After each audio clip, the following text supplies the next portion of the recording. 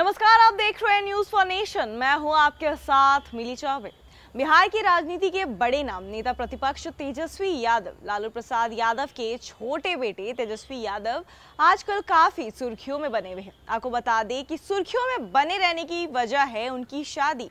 जी हाँ लालू प्रसाद यादव के छोटे बेटे की शादी हो चुकी है, तेजस्वी यादव की शादी हो चुकी है। शादी बड़े ही गुप्त तरीके से दिल्ली में कराई गई है। और अब कल तेजस्वी यादव अपनी नई नवेली दुल्हनिया के साथ पटना आ चुके हैं। अभी रावरी निवास में है। दुल्हनिया का आज अपने ससुराल में पहला दिन है। तो ससुराल से एक लेटेस्ट तस्वीर सामने आई है। बहुत खूबसूरत सी, प्यारी सी तस्वीर सामने आई है। पहले देखिए तस्वीर, फिर बताते हैं पूरी खबर क्या है। तो देखा आपने, दुल्हनिया की बच्चों के साथ खेलते हुए एक सुंदर सी, प्यारी सी तस्वीर। बच्चे के साथ खेलते हुए दुल्हनिया भी बच्ची बन गई है। कितने प्यारे तरीके से दुल्हनिया एक बच्चे के साथ खेल रही हैं अपने ससुराल में। दुल्हनिया का आज अपने ससुराल में पहला दिन है, यानी कि बहू रानी का, सबसे छोटी बहू रानी का उनके ससुराल में पहला दिन है और वो बच्चे के साथ खेलते हुए बच्ची बन गई है। ये तस्वीर बेहद खूबसूरत तस्वीर है जो कि रावरी निवास से सामने आई है। ये तस्वीर बेहद खूबसूरत और प्यारी सी तस्वीर है। बच्चे के साथ खेलते हुए दुल्हनिया, यानी तेजस्वी यादव की बीवी, बिल्कुल बच्ची बन गई है। और साथ ही साथ ये भी देखने को मिला है कि किस तरीके से दुल्हनिया अपने पति देव को खाना खिलाते हुए मतलब कि एक पिक्चर में दुल्हनिया अपने पति देव को खाना खिलाते हुए भी सामने आई है।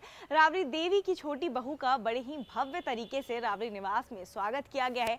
कल रावरी देवी की छोटी बहू और उनके बेटा तेजस्वी यादव, यानी नेता प्रतिपक्ष तेजस्वी यादव, बिहार यानी पटना आ चुके थे और कल उनका स्वागत हुआ था। कई सारे अधिकारी, कई सारे लोग, नेता उनके साथ, उनके स्वागत में उनके घर के बाहर खड़े थे, उनका इंटरव्यू हुआ, वो लाइव आए और फिर उनका बड़े ही भव्य तरीके से स्वागत किया गया। पूरे रावड़ी निवास को बहुत सुंदर तरीके से सजाया गया था।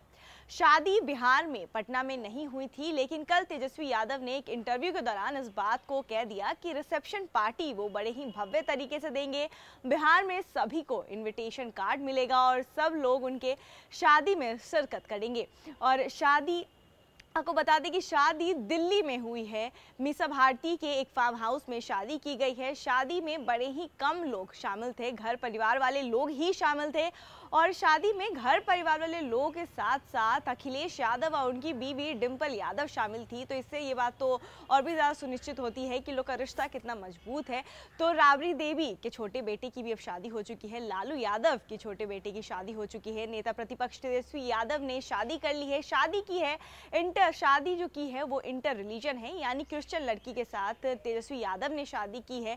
और अब जो ये तस्वीर सामने आई है दुल्हनिया के पहले दिन की, यानी अपने ससुराल में पहले दिन दुल्हनिया अपने ससुराल में एक छोटे से बच्चे के साथ खेलते हुए बिल्कुल बच्ची बन गई है। तो ये काफ़ी खूबसूरत तस्वीर है जो आप अभी देख रहे हैं किस तरीके से दुल्हनिया एक छोटे से बच्चे के साथ खेल रही है।